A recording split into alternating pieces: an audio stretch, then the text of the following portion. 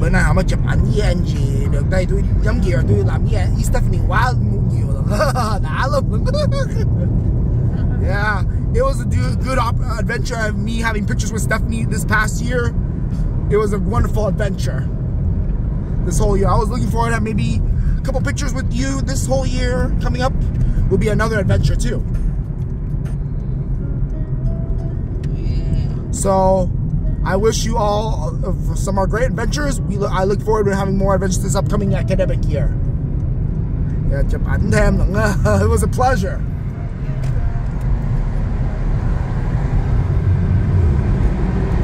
Because my spring class is over already. For 2024, because